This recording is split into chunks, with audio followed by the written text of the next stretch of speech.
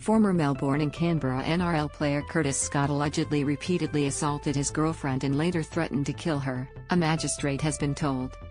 But the now unregistered centre denies ever laying a hand on long jumper Tay-Leiha Clark, 24, during what his lawyer termed their somewhat tumultuous two-year relationship.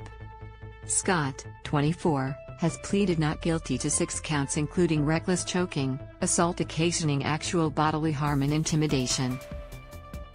Read more. Australia's top 10 most in-demand jobs The offences allegedly occurred in the six months before the couple broke up in March 2019, Sydney magistrate Daniel Covington was told today.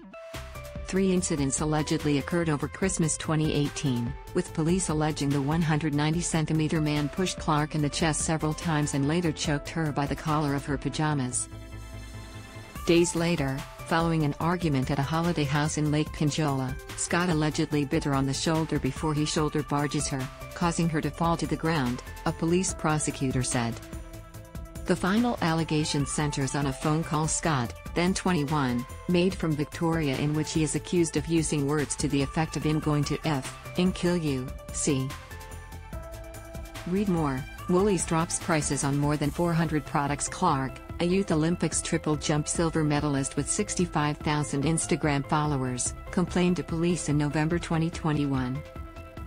Prosecutors will also attempt to rely on tendency evidence suggesting Scott assaulted the woman in Victoria too. One of those arguments occurred inside a Sydney Olympic Park hotel the night of the 2018 NRL Grand Final, in which Scott's storm fell short to the Sydney Roosters.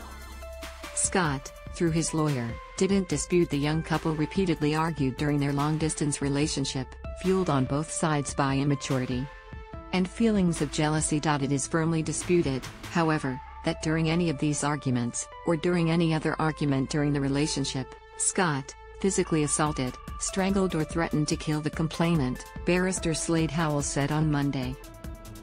At no stage did he ever do any of these things. Read more. Another great white shark killed by serial killer whales family and mutual friends are expected to give evidence during three days of hearings at Downing Centre local court this week. Scott was supported on Monday by his father, sister-in-law and other relatives. The Sydney-born centre played 49 matches for Storm over four years, before joining Canberra ahead of the 2020 season. His time in the capital ended abruptly in August 2021 when the Raiders tore up his contract, having determined had brought the club into disrepute.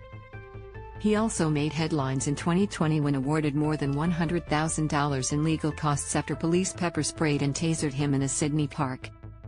Charges against Scott related to the incident were dismissed by a magistrate who admonished police and labeled the case faulty and unwarranted.